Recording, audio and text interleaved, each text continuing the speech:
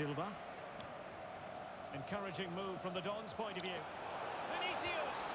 And a goal! Quick one, too. See ya.